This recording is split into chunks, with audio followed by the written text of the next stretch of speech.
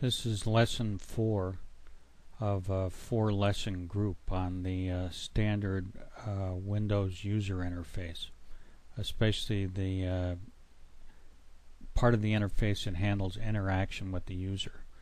And the three main uh, types of controls that handle that are menu strip, tool strip, and finally context menus. And a context menu is what appears when you like pop right click a uh, blank part of a form and uh, a menu pops up. Quite often you have different context menus for different areas and whatnot, but we'll just have one context menu for the whole form. This is our superhero application we've de been developing over the last three lessons. And it's got a menu uh, strip, uh, tool strip, and now we want to put in a, a context uh, menu strip or so down in the menus and toolbars uh, section of the toolbox select uh, context menu strip. You can either double click on it or drag it over the form. Let's drag it over the form. Doesn't matter where you drag it really you'll notice the context menu strip 1 appears in the uh, component tray at the bottom of the screen. And why don't we go over and give this a more meaningful name to begin with. Call it uh, CM Heroes maybe.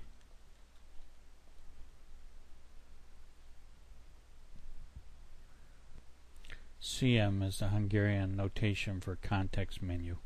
It's actually just what I use. I don't know that there's actually a standard.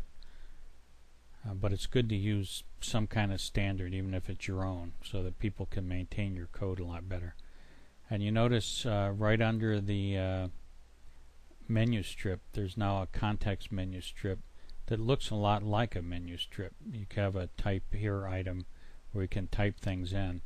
And the difference is this doesn't actually appear on the, the screen when you run the application. It only appears when you right click.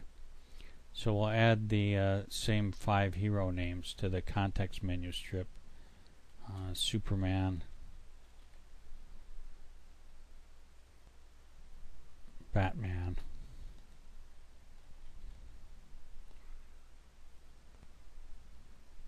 Wonder Woman,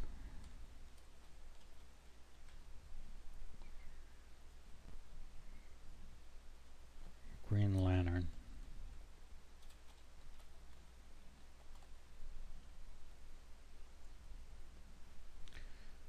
and flash. And as usual, you double click on the uh, item in order to go into the handler for the item. First, though, we want to give them good names. Uh, the default names are the pits. So call this uh, CMNU for context menu item.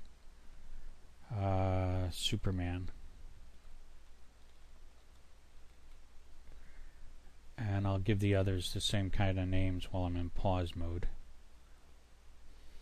Alright, I've given all uh, five uh, context menu items uh, meaningful names, the last one being CMNU flash for uh, context menu Hungarian notation. To uh, actually put code behind these buttons or these item selections, you double click on them as usual. So I double click on Superman. And that takes me into a routine called uh, CMNU Superman underscore click, which is the click event for this context menu item. If we go up to uh, TSB Superman click, which is the event handler for the uh, click event of the tool strip button, Superman. You remember we copied a reference to the uh, menu strip uh, event handler.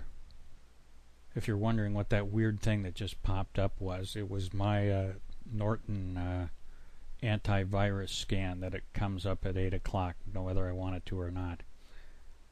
And And uh, anyhow, to continue, we have a call to the uh, menu item event handler for click uh, from the tool strip bar uh, click handler. So what we want to do is just copy that call since we only want the code in one place. So I'll copy this call by click handler. So what we want to do is just copy that call since we only want the code in one place. So I'll copy this call by selecting it, right clicking and selecting copy. And now I go down to the uh, event handler for the context menu, Superman click event. Put the cursor in that uh, function, right click, and click paste. And now this also called the uh, tool strip or the menu item uh, click event. So even though we have three different ways of uh, doing the same thing, they all vector back to the same function. So we only need to change the code in one place. All right now I'll do the same thing for the other uh, four uh, context menu items in pause mode. Alright, I've added the same uh, technique of calling the menu strip click uh, event handler for each of the uh, context menu uh, event handlers, click event handlers. So CMNU Batman click calls Batman toolstrip menu item underscore click and it passes the uh, sender and the E object and event args arguments uh, straight through to the the menu strip routine.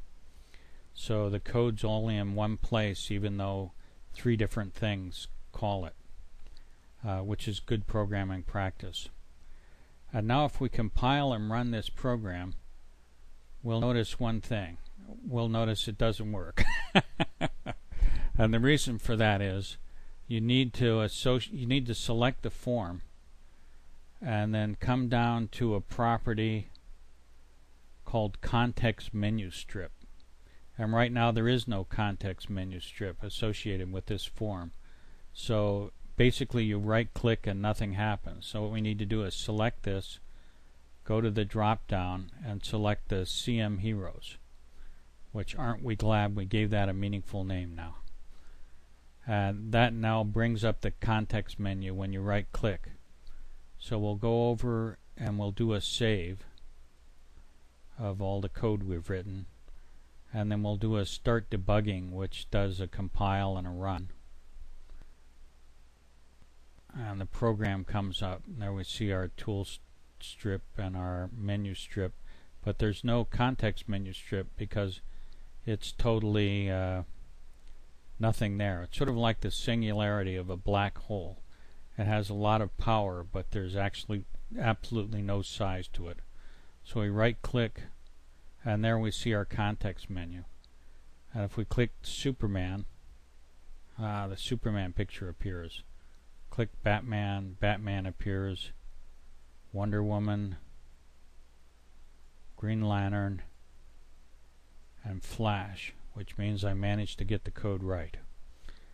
Well that completes the uh, how to write a context menu and it completes all four of the uh, four lessons in the group of how to design a standard Windows interface. Uh,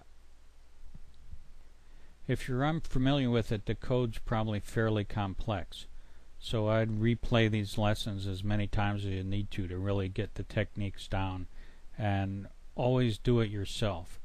You know, if you don't do it yourself, you have something I call programming delusion or you've seen somebody else do it, so you're sure you know how to do it. You know, until you actually do it yourself, you don't really know you know how to do it. In fact, there's a good chance you don't know how to do it, and you're completely deluding yourself.